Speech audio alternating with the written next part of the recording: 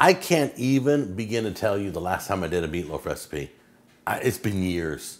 I'm guessing. I don't. I don't remember. But uh, today's episode is brought to you by HelloFresh. It's a meal delivery system. I've been with HelloFresh for about two years. Every meal they've sent has been amazing. I mean, they've got these nutritionalists that, that work out these great meals. They take about 30 minutes to make. You can get them three times uh, a week. You can get them for two people. You can get them for four people. Uh, it's a great service.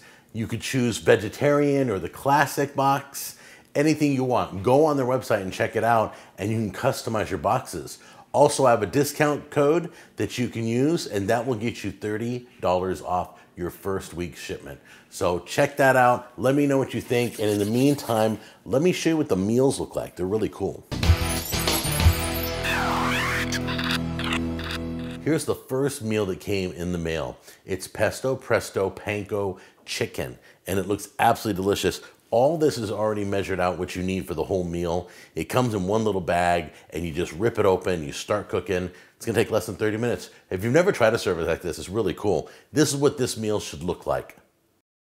Here's meal number two that came in the mail. It's called Little Ears Pasta, and they got these, they look like little ears. It's kind of weird, creepy. But uh, you got the pasta bags here. Sweet Italian sausage. There's, there's six of them. You get your Parmesan cheese, chili flakes, which means it's gonna be spicy. Beautiful um, broccoli and more basil pesto for this dish. And here's what it's supposed to look like. Oh my goodness. Look how much is going on here. That's why I chose this one for today's episode. We have our meatloaf, the ground beef, onion, sweet potato, garlic, Italian parsley, honey, balsamic vinegar, ketchup, two cage-free eggs. First time I've ever seen them ship me eggs. And then we have sliced almonds, green beans, and breadcrumbs.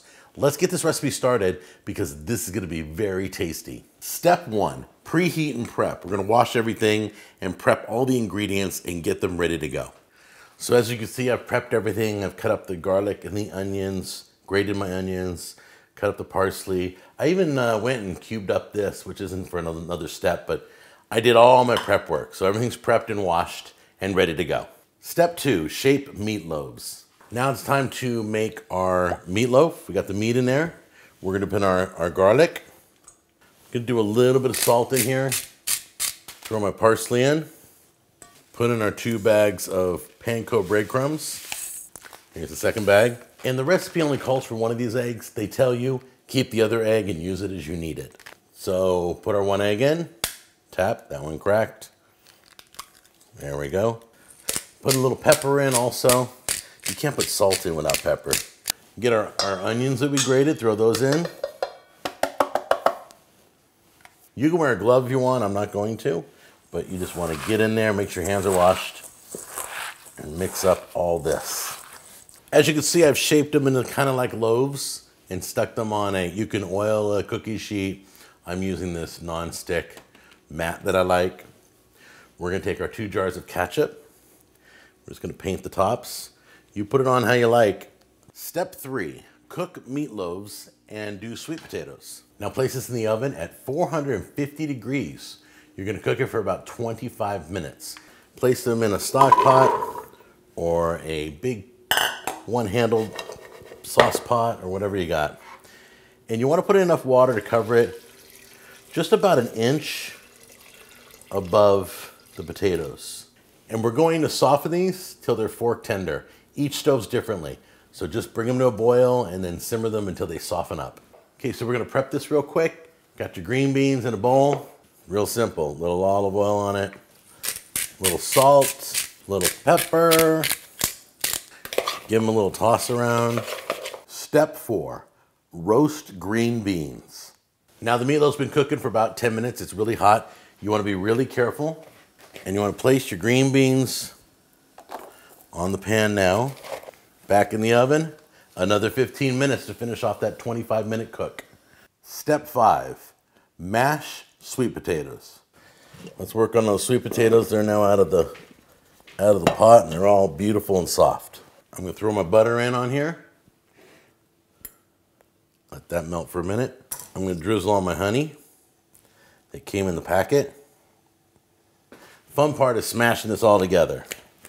And then after five minutes of getting nowhere with a fork, you finally give in to the potato masher. Look how beautiful that looks. Those roasted green beans look amazing. We're gonna slide under that meatloaf right there. We're gonna place it right here. One right there. Step six, finish and serve. We are only missing one little thing. We're gonna take these sliced almonds and just add a little flavor, little crunch to this. Look at that. There it is, meatloaf balsamico with some sweet potatoes and green beans with slivered almonds. That looks like a professional dish. Here we go.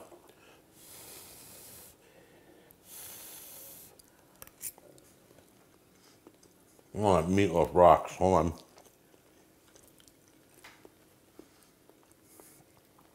Honey and butter sweet potatoes.